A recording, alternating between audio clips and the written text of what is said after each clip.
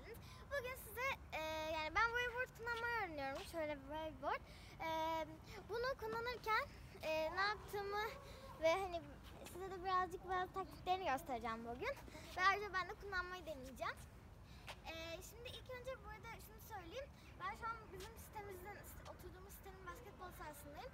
Ve ben şu anda e, nefesimi harcayacağım için nefes zorluğu yaşamayayım diye maskemi takmıyorum. Ama normalde tabii ki takıyorum. E, ve zaten etrafta da kimse olmadığı için pek bir sorun olmayacak.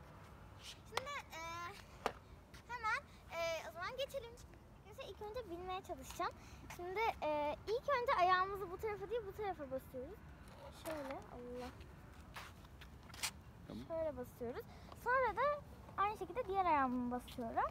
Gördüğünüz gibi şu anda waveboard'un üstüne çıktım. Şimdi e, gitmeye çalışacağım. Burada e, gitmek çok zor oluyor. Yani e, denge giderken dengede durmak çok kolay ama eğer durarak gitmeye çalışırsak e, durduğumuz zaman dengede durmak çok zor oluyor ama ilerlerken dengede durmak o kadar da zor olmuyor. Şöyle ilerleyeyim. Biraz ayaklarımızı böyle hareket ettirdiğimiz zaman daha rahat gidiyor. Tabii ben şu an yavaşladığım için gidemedim. of düşü. Arkadaşlar bunda böyle "Aa, yanınızda birisi olsun kesinlikle tek başına kullanmayın. Çünkü ben de şu anda e, babamdan yardım alıyorum. E, zor oluyor bayağı.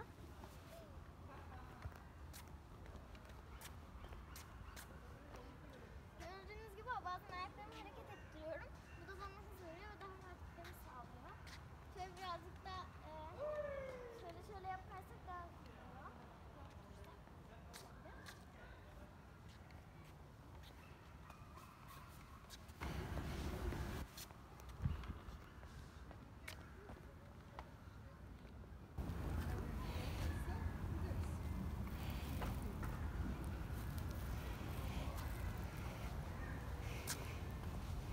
Arkadaşlar o zaman şimdi sürüşe geçelim.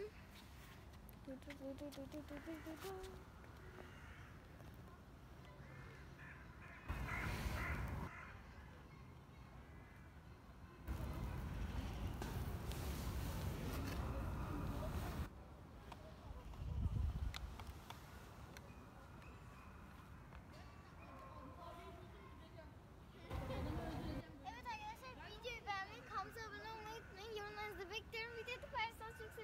tuşuna küçük sayıda basarsanız tüm videolarımızı haberdar olabilirsiniz.